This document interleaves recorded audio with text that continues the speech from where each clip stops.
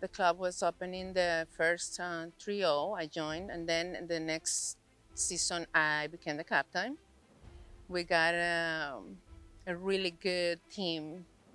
Today we are really good friends. Uh, we won the seasons on the local league, and we were going to Daytona by that time. During the training, I had some issues, and I went to the doctor, and I found out that I have um, breast cancer. Breast cancer with a metastasis to the lymph nodes. I decided to stay, going to Daytona with the girls. I didn't play because I had surgeries and stuff.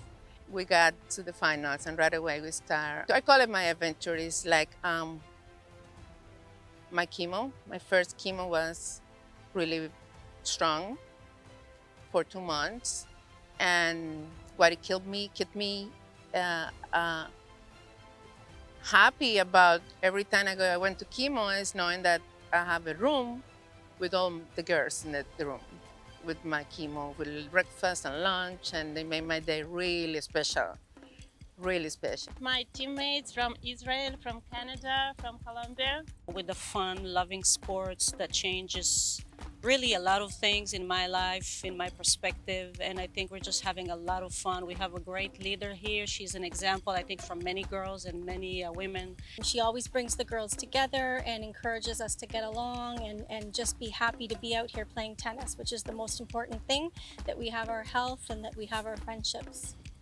I just can't explain and say enough of um, how lucky I am that I finally got with all these girls together. It's been just so much fun, and uh, I have learned so much about not only tennis but life in general and friendship, and um, and that's what keeps us together.